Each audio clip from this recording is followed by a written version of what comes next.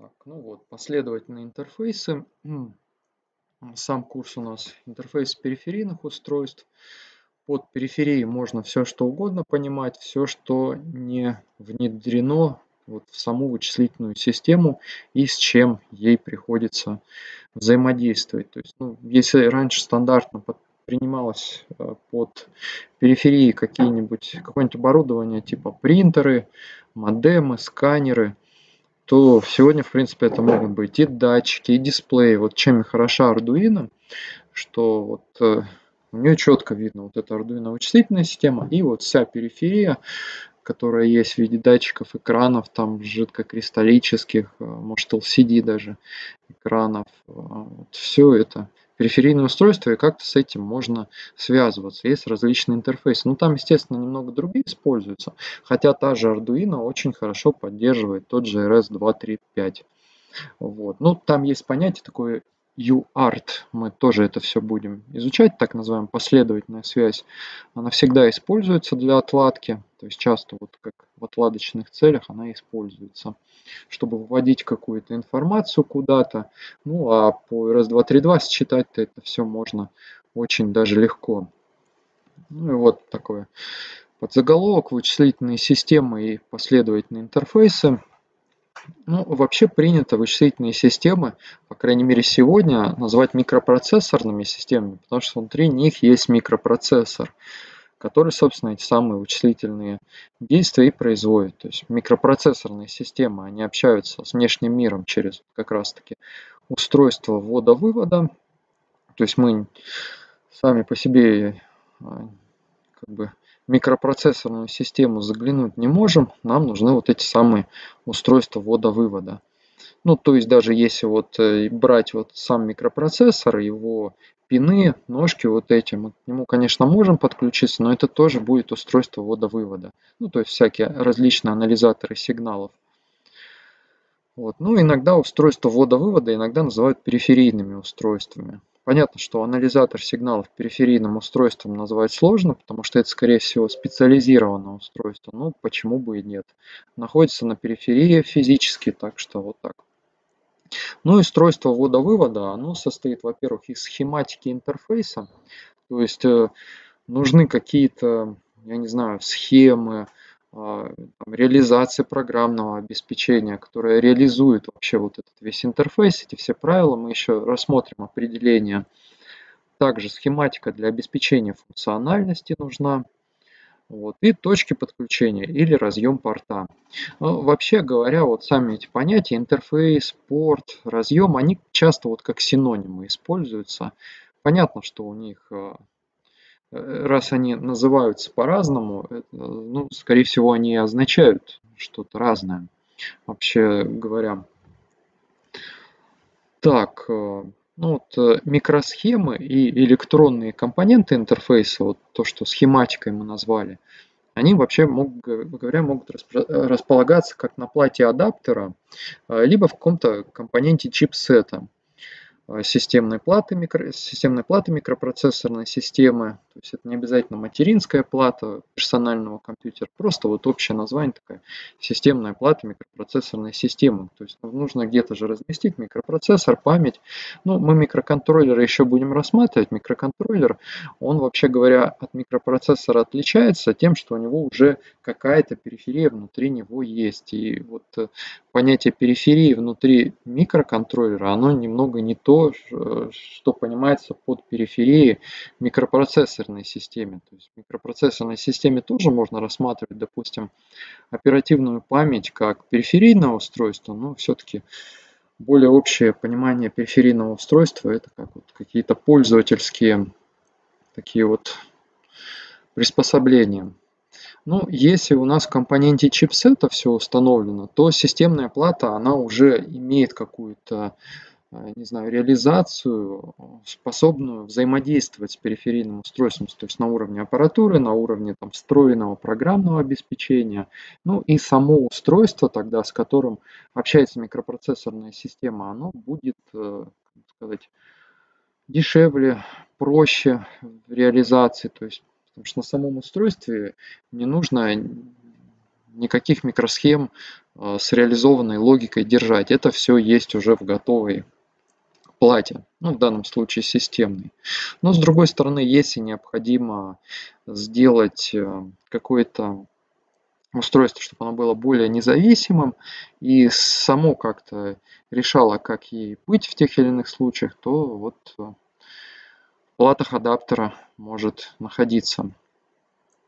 Опять же, тут, тут тоже есть э, некоторое понимание, есть понятие адаптера и контроллера, тоже как-нибудь можно будет рассмотреть. То есть вот если говорить об адаптере и контроллере, то контроллер, он более более как раз таки совершенно имеет реализацию, адаптер, он просто приспосабливается к какой-то среде.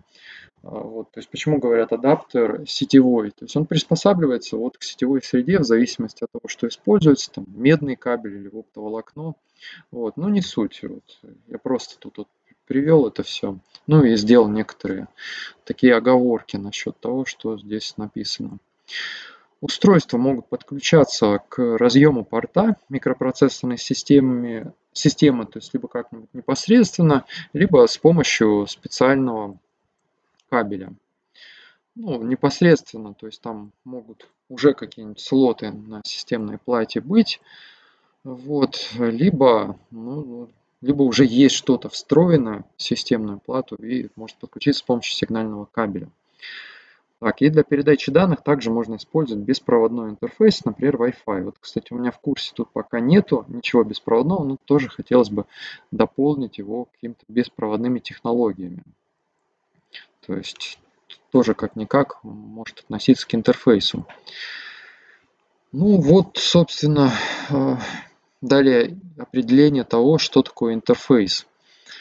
Э, ну, это, во-первых, это можно под интерфейсом считать некоторую совокупность правил, каких-то протоколов, средств, которые обеспечивают взаимодействие устройств внутри микропроцессорной системы. Ну, либо взаимодействие микропроцессорной системы с какими-то другими устройствами, внешними, периферийными. Также можно подразумевать под интерфейсом некоторую совокупность унифицированных технических и программных средств, которые используются для сопряжения устройств в вычислительной системе или сопряжения между системами. Вот. Ну и самое простое определение – это набор сигналов, которыми обмениваются взаимодействующие устройства и аппаратура, обеспечивающая этот обмен. Вообще говоря, протокол можно понимать как, вот, как некоторая последовательность э, сигналов по времени. Вот.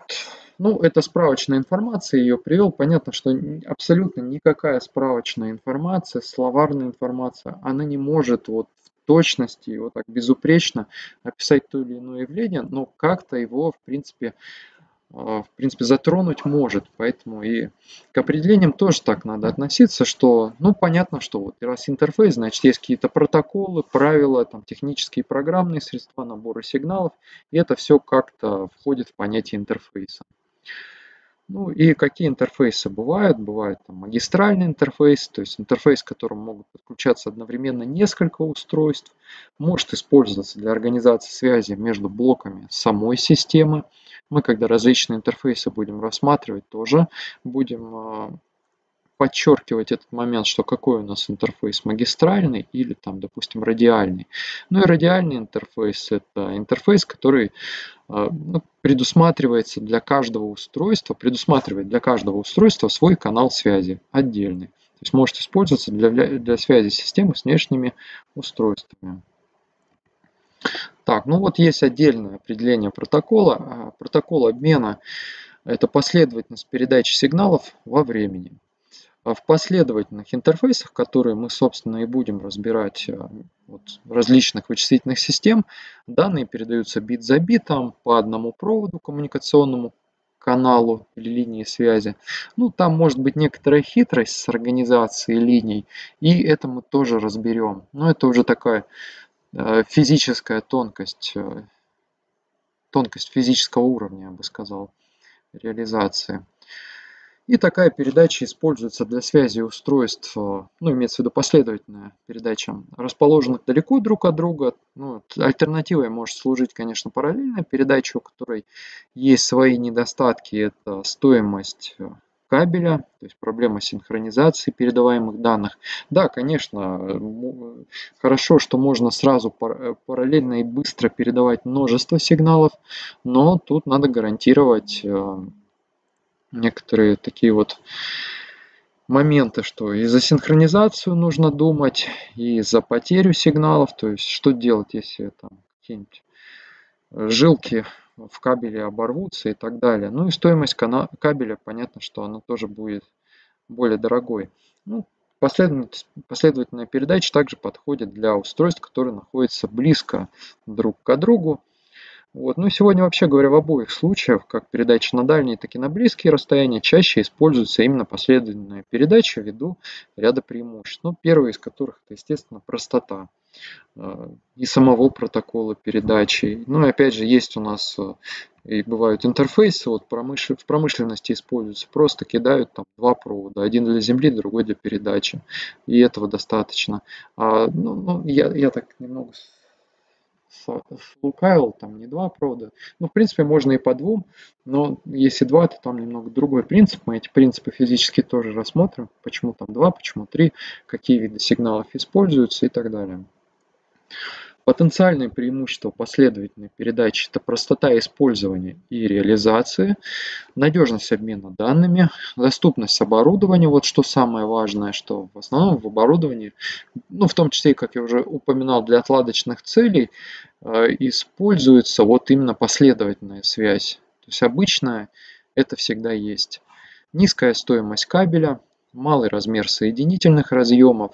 Ну, понятно, что, вот, допустим, компорт персонального компьютера использует последовательную связь, но назвать его разъем маленьким, а, ну, это тяжело. Потом узнаете почему. Ну, то есть там, там аж 9 выводов или 8 допустим, а есть еще там 25 разъем на 25 выводов. Как бы, ну, зачем это сделано, сложно сказать, но, в принципе, достаточно для передачи данных и поменьше кабелей, чем вот ну, не кабелей, а вот этих вот жилок, чем вот 9 или 25. Так, возможность передачи данных на большие расстояния, это уже было сказано. Ну и вот малое число сигнальных линий упрощает кабельные соединения.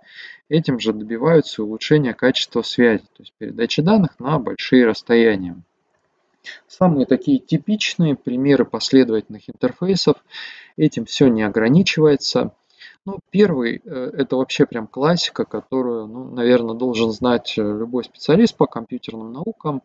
Ну и, естественно, по железу это RS-232. То есть интерфейс для подключения специального измерительного управляющего оборудования для подключения периферийного оборудования типа сканеров, принтеров, модемов раньше использовался вот именно он.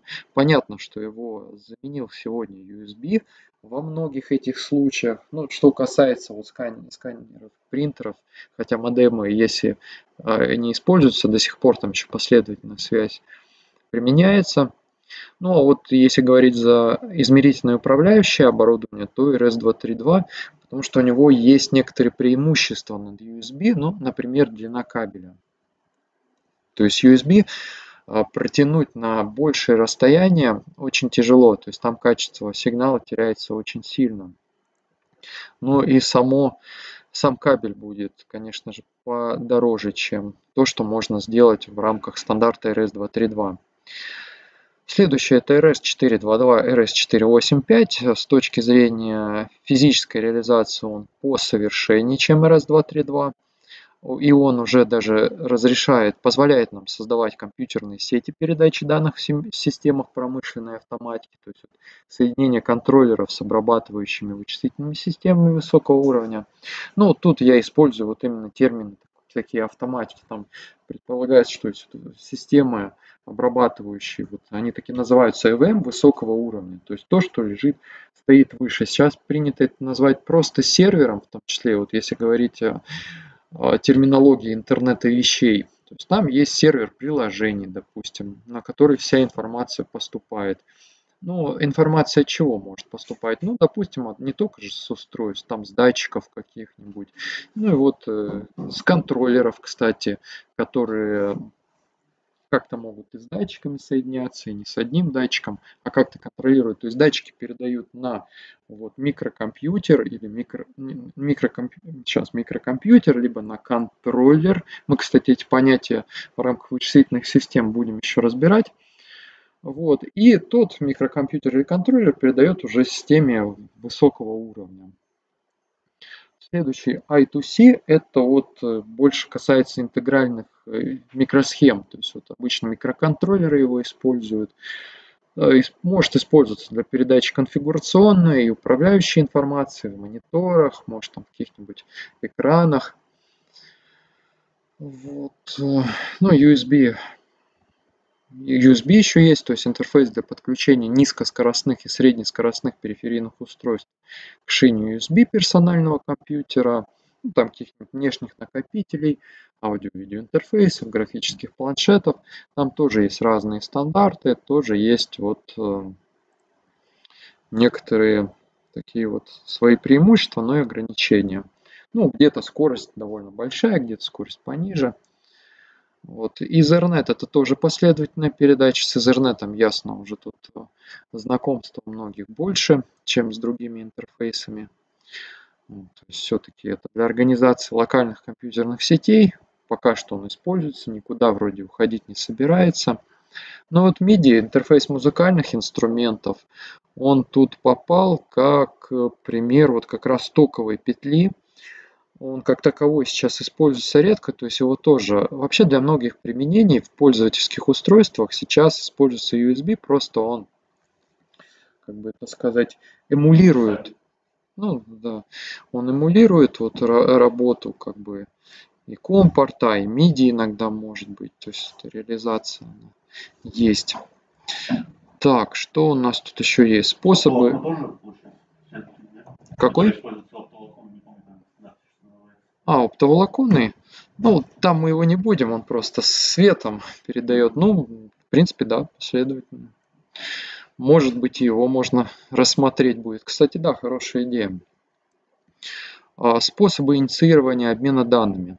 Ну вот между микропроцессорной системой и устройством ввода-вывода ну вот, допустим, опрос, когда процессор периодически опрашивает устройство, не нуждается ли оно в отправке или получении данных. То есть самый простой способ, если у нас вычислительная система, есть у нас устройство. вычислительная система, конкретно процессор, постоянно будет опрашивать устройство, не готово ли оно ничего, не готово ли оно там это а, отправить какие-нибудь данные. Ну, понятно, если получ... оно, ну или получить данные. То есть этот механизм называется опросом. Есть программный ввод-вывод, то есть процессор извещает устройство, выдавая его адрес на системную шину адреса. Это когда уже процессор говорит, что да, мы будем э, производить обмен информацией. А далее это вот вывод по прерыванию, когда устройство использует механизм прерывания, чтобы известить процессор о том, что ему требуется выполнить обмен данными. Самый такой предпочтительный, наверное, способ, совершенный. Вот, когда используется система прерывания, вот она как раз в персональных компьютерах используется особо так часто. Ну и прямой доступ к памяти, когда устройство использует контроллер прямого доступа к памяти, чтобы получить управление системными шинами и выполнить прямой, то есть без участия процессора обмен данными с основной памятью микропроцессорной системы. Ну, в каких-то простых случаях вычислительных систем никакого прямого доступа к памяти может не существовать и придется использовать тот или иной механизм, который есть. Ну, может быть, по прерыванию. По прерыванию старые подключения мышцы клавиатуры используют? Ну, вообще много что используют по прерываниям. вот, и эти прерывания, они уже обрабатываются как-то системой. Вот. Так, ну это вопросы, они больше касаются вот материала, которого мы, который мы рассмотрели. То есть они больше для вас нужны, то есть может тоже свободное время почитать, посмотреть, попробовать ответить, может поспорить с какими-то из вопросами, из вопросов. Так, ну вот первая часть